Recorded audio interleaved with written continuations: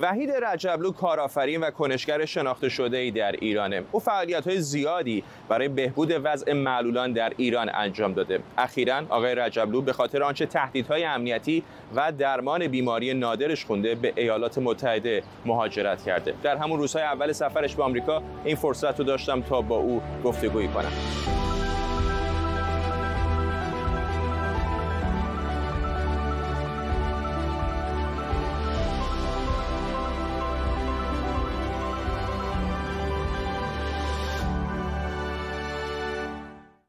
از همین آخر شروع بکنیم.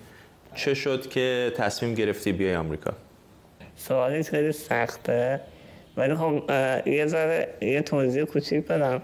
من حقیقتش تازه از ایران خارج نشدم. من چندین ماه از ایران خارج شدم. ولی خب یه هفته است یه رسیدم آمریکا. چه شد؟ دلایل زیادی داشت.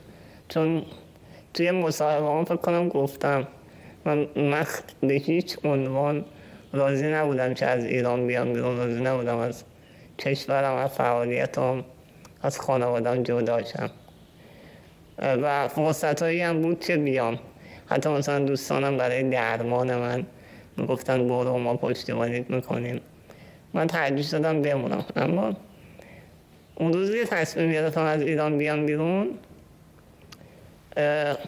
من مشهورم یا معروفم به اینکه ناامید نمیشم یا هر در ای جلوی منو نمی‌گیره به این راحتی اون روز احساس کردم دیگه هیچ در بازی نیست چه یعنی روزی بود؟ فکر می‌کنم پا آبان پارسال بود حالا تاریخ دقیقش رو نمی‌دونم چه شد؟ چه اتفاقی افتاد؟ خیلی حالم بد بود خیلی از یه مکانی اومدم بیرون گوشم خونریزی کرده بود. از فشار عصبی. انقدر عصبی بودم که گوشم خونریزی کرده بود. بعد حتی شبش تو خوابم باز این اتفاق افتاد. بعد واقعا دیدم دیگه, دیگه راهی نیست. یعنی من فقط می‌تونم فعالیتمو بیرون ایران ادامه بدم برای اینکه حالا جسم شکننده ای که دارم. توان این که بتونم جلوی هر چیزی بایستم و ندارم من یادتونه که احضار شدم. منو خواستم من رفتم. من جسمم توانایی رو نداره. احساس کردم با این بیماری با این مدیریت که دارم جونم در خطره.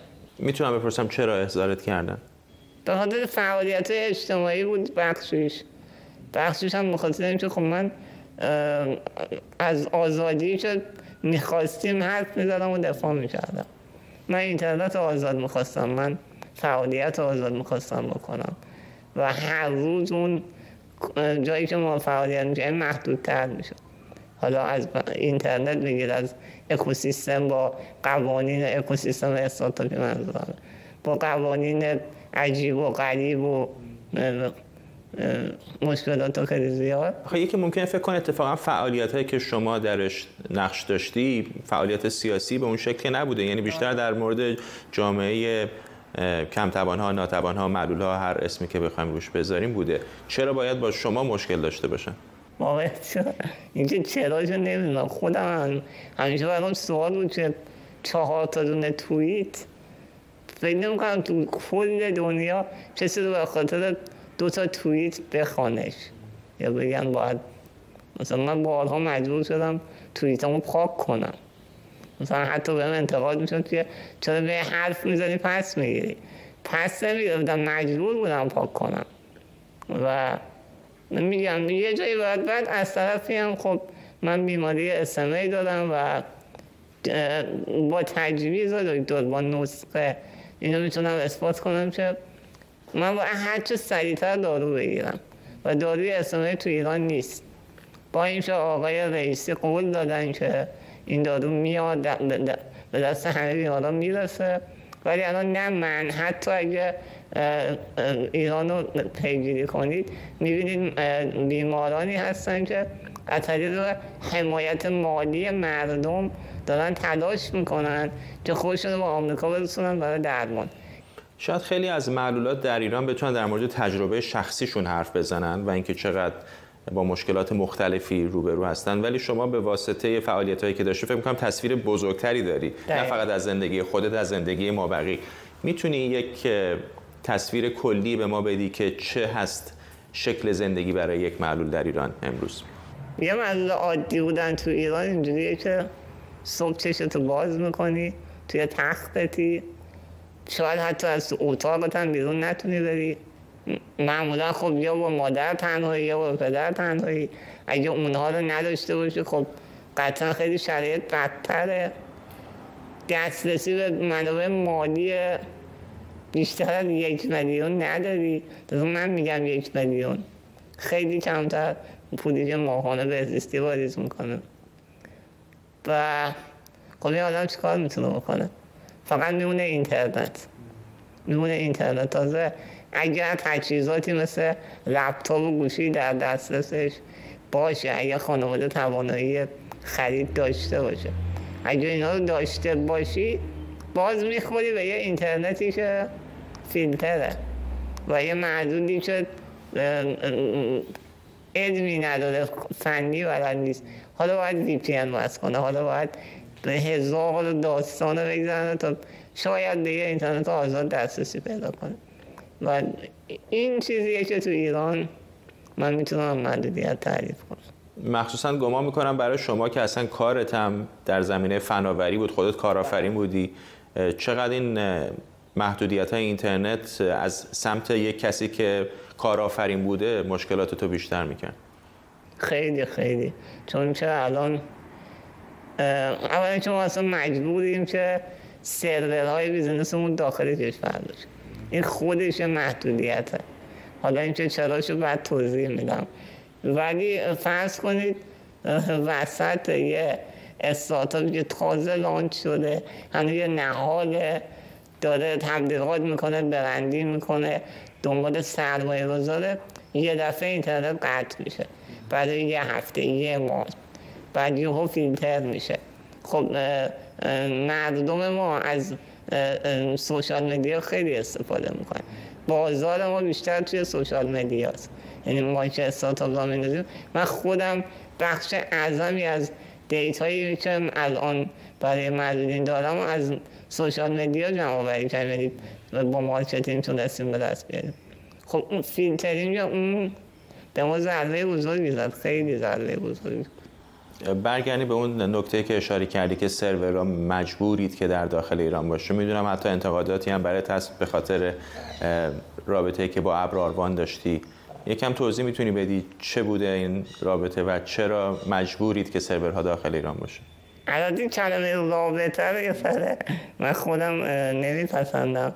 چون رابطه یعنی تو مثلا با اون مجموعه یا با اون فرد همکاری شریکی تا که اینجوری نبوده؟ الان خیلی از همین افرادی که منتقد منن و میگن تو با ابر آروان رابطه داری خودشون سروراشون تو ابر آروانه همین الان.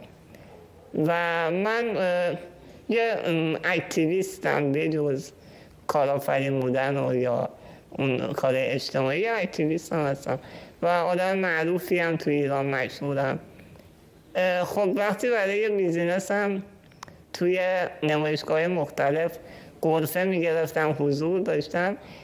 مجموعه ها دوست داشتن من دعوت کنن یا من دوست داشتم برم از این مجموعه دیدن کنم. و توی همین دیدن خب هم یکی از اونها بود. من می‌رفتم خب سرورام گفتم توی ابزاربان بود. من می‌رفتم بازدید و عکسم انداختم. یعنی همون یه عکس به من میگن تو رابطه داری تو. من تقریبا نمی‌دونم چند هزار تا توییت زدم. چندین هزار تا توییت دارم. فقط با سه تا توییت. توییت من منو قضاوت می‌کنن. منو ضد مردم می‌دونن. منو حالا خیلی ناجوان مردانه قضاوت می‌کنن. خونشور می‌دونن. و حالا جدا از توهینای دیگه. این بحث دنیای مجازی و اینترنت که اشاره می‌کنی نکته مهمی است چون طبیعتا نیازی به پا و دست نداری. بله. فقط به یک ذهن بله. پرسشگر می‌خواد و دنیایی از طریق یک صفحه جلوت بازه. ولی خب تمام دنیا هم این نیست. می‌دونم که بالاخره معلولان هم می‌خوان برن بیرون می‌خوان برن مغازه می‌خوان برن پیش پزشکشون می‌خوان سوار خودرو بشن. چطور هست کیفیت دسترسی در ایران برای معلولان؟ یک روز عادی در تهران در کرج در مشهد چه شکلیه برای یک معلولی که می‌خواد از خانه بره بیرون برای هر کاری. دسترسی یعنی اگه بخوام فعالیت فیزیکی رو بگم تو ایران من از یک تا ده می‌تونم یک بدم می‌تونم دو بدم. حمل و نقل عمومی که به هیچ عنوان شما نمی‌تونی استفاده کنی. ما بعد از فعالیت چهار پنج ساله تونستیم فقط تپسی های آنلاین و برای سفر داخل شهری دسترس پذیر کنیم. یعنی الان ناشنوایان نابینایان افرادی که محدودیت فیزیکی دارن تپسی که بگیرن اون فرد متوجه میشه که ایشون محدودیت داره و باید کمکش کنه. شما متوجه میشه که راننده ناشنواست یا راننده محدودیت رو با دستش فقط رانندگی می‌کنه. فقط همین و, و یعنی من خودم کسی بودم که هر روز صبح از خونه می‌رفتم بیرون می‌رفتم دفتر کارم. توی همین مسیر بارها من حادثه برام پیش اومده. سرم شکسته پام شکسته خوردم زمین. جای پارکم رو اشکال کردن. بعد بیمارستان رفتیم خودتو برای این حادثه. ها فکر کنم خیلی خطرناکه.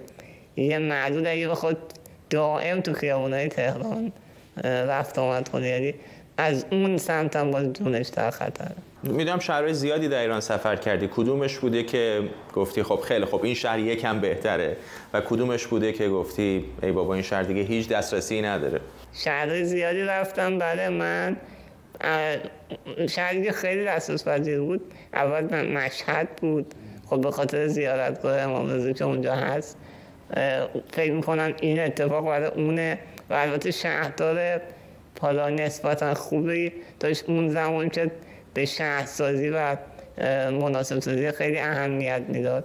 من یادم که با خود من چندین بار از شهرداری مشهد تماس گرفتن و خواستن که حالا ایده بدم یا کمک کنم که بتونن شهر رو مناسب سازی کنم.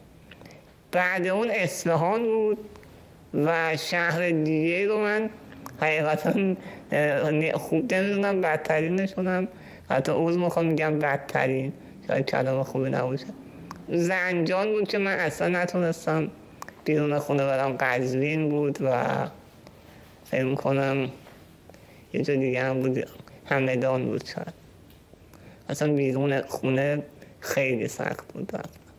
با وینچر در مورد خود بیماری چون نسبتا بیماری نادری می‌تونی یکم بیشتر به ما بگی که بینندامونم بدونن SMA چه هست از کی آدم متوجه میشه که این بیماری رو داره و چه تأثیری می‌ذاره رو کیفیت زندگی؟ در مورد بیماری بیماری من آتروفی عضلانیه که به نام اسم علمیش SMA هست.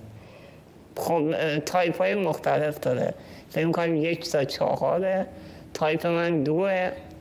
تایپ خود من و این تایپ هر که کمتر باشه بیماری خطرناکتره. از لحظه تولد می‌فهمن که بله بیماری ژنتیکی هست. از لحظه تولد حالا نمی‌دونم بشه فهمید ولی با آزمایش میشه یعنی از ظاهر کودک نمیشه فهمید. باید آزمایش بده ولی خب خود من هیچ وقت راه نیفتادم یعنی راه نرفتم. اما بعضی بیمارا راه میرن و بعد تو طول زندگی بیماری پیشرفت می‌کنه. تا فکر می‌کنم سال 2017 دارو درمانی نداشت. ولی بعد اون دارو اومد. از سال 2009 هم 2019 هم یادمشه توی ترکیه و کشورهای آسیایی اومد. فکر می‌کنی هیچ وقت برگردی ایران؟ مطمئنا من برمیگردم یعنی. خیلی اینو گفتن ها. خیلی هایی که اومدن بیرون گفتم مطمئنا برمیگردم. نه آدم من خیلی آرزوها دارم ولی فکر کنم به اون آرزوهایی که باید رسیدم. من نمی‌خوام ایران برام آرزوشه مطمئنا برمیگردم. مهاجرت برای همه سخته دیگه. به دلایل مختلف زبان کار پیدا کردن. ارتباط برقرار کردن دوستانی جدید پیدا کردن. گمان می‌کنم در مورد شما احتمالا سختی ها بیشتر هم هست به خاطر بیماری به خاطر مشکلات فیزیکی که داری و دارویی که الان به دنبالش هستی. چقدر فکر می‌کنی که می‌تونی سریع به اون جایی که می‌خوای برسی این دارو رو به دست بیاری درمانت رو شروع بکنی؟ مهاجرت میگم بستگی داره که اولا اقامت اون کشوری گرفته باشی یا حداقل بتونی چند سال اونجا بمونی یا نه. چون مثلا وقتی رفتم ترکیه خب توریستی بودش و سه ماه بیشتر نمی‌تونی بمونی و اونجا حق کار نداری.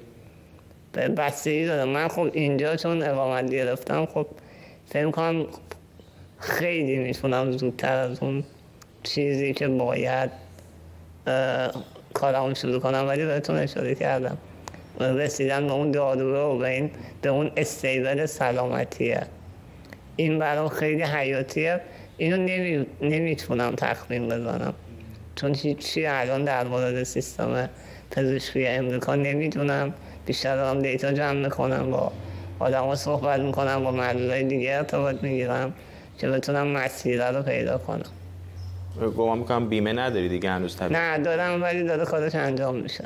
در همین مدت کوتاهی که اومدی طبیعتا قبل از این مصاحبه در مورد تکم سعی کردم این اونور بخونم دیدم یهو در توییتر یه سری حملات شروع شده.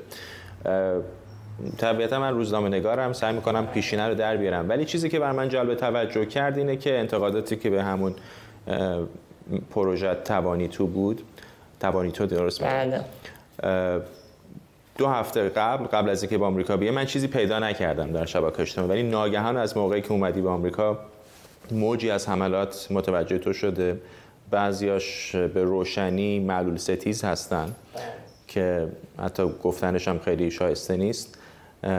و بعضیش هم انتقاد هست به فعالیت های پروژه اینکه سایت ناقص بوده نمی‌دونم شماره ناقص بوده و اینها. چه هست واکنشت به اینا؟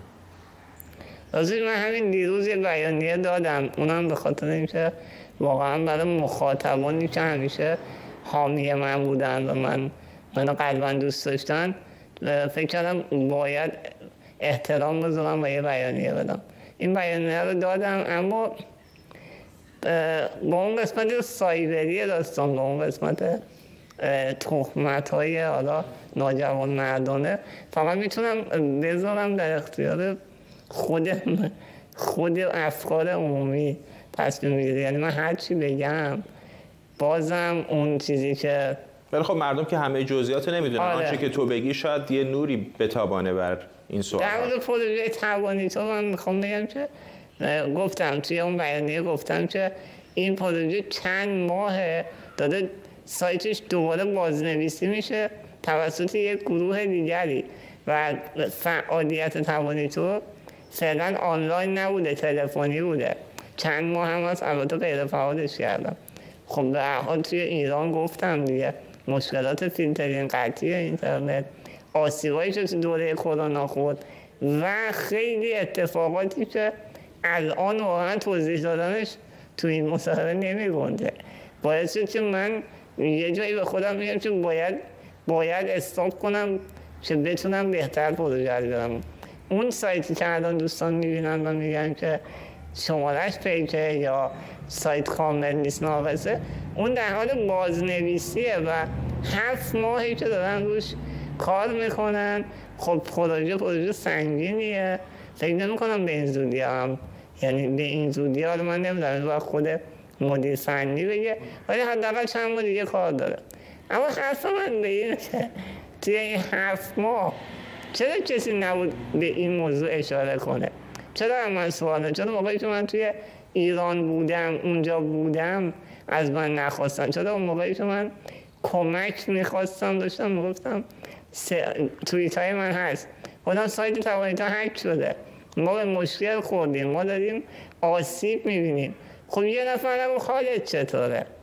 چرا الان چه یهو خبر میاد رجب دو رسید آمریکا همه مثلا میگن که پولا رو برداشت و کدوم پولا؟ از کجا پول اومده که من بردارم برم؟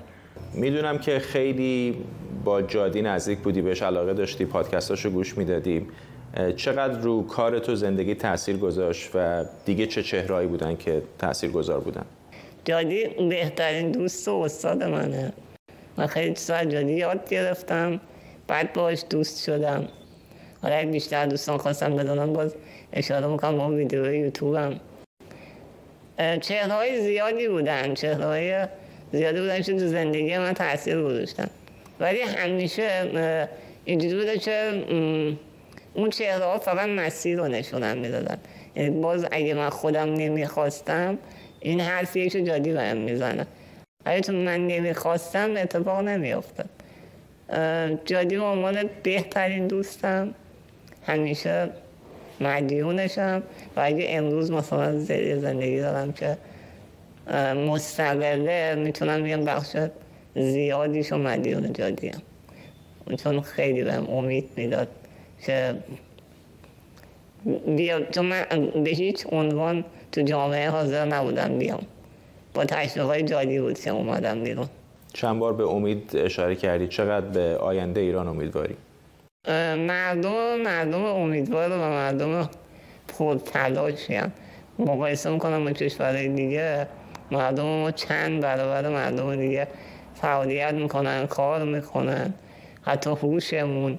حالا نمی‌خوام جدا کنم ولی اینا رو به چشم دیدم من امیدوارم که اتفاقای خوبی توی آینده نزدیک میافته اینو مطمئن تو بر مشکلات زیادی فائق شدی دیگه. اونم در محیطی مثل ایران که بالاخره زندگی برای همه مشکلات عدیده ای داره برای معلولان هم طبیعتا بیشتر. و به خاطر کارآفرینیت به خاطر چهره رسانه شدنت به موفقیت های زیادی رسیدی. ولی می‌خوام ازت بپرسم که پیامت برای اون معلولی که در خونه نشسته میگه که نه من که موقعیت های وحید رو ندارم. من که این توانایی ها رو ندارم من که این ارتباطات رو ندارم. پیامت به اون چیه که شاید به اندازه تو امیدوار نباشه به آینده؟ ببین یه روزی باور کنید منم تو باز اشاره می‌کنم به توییت هم برید بخونید.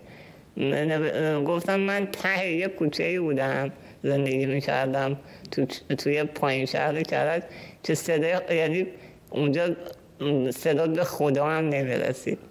واقعا من توی یه شهر بودم و آرزو یعنی می‌خواستم اول بگید بیانیه اینو بگم اینو بنویسم. من آرزو کردم خدای چی میشه؟ اصلا مامانم می‌گفتم ما چی میشه؟ الان منم تو حیاهوی زندگی بودم. کسب و کار خودم داشتم با همسن و ساله خودم توی جامعه بودم. شرایطم عادی بود. بعد مامانم گفت که انقدر راحت نگاه نکن اونایی که الان اونجا هزار تا داستان و مشکل و سختی و دشمن و اینا دارن. من الان دقیقا تو همون چیزی هم که خواستم. و اینا رو خب روی زندگی طبیعی اینا رو داره. می‌خوام بهشون بگم که هیچ وقت زندگی بهت نشون نمیده که تو آینده برای چه برنامه ای داره. نامید بودنه بیشتر تو رو ذهن تو رو می‌بره به این سمت که آرزو نکن. و آرزو کردن خودش یه قدمه این خیلی مهمه. من, خی... من مثلا آمریکا رو میگم فقط اول تو آرزون بود ولی الان تو آمریکا. وحیدی رجبلو خیلی خیلی ممنون. قربان شما.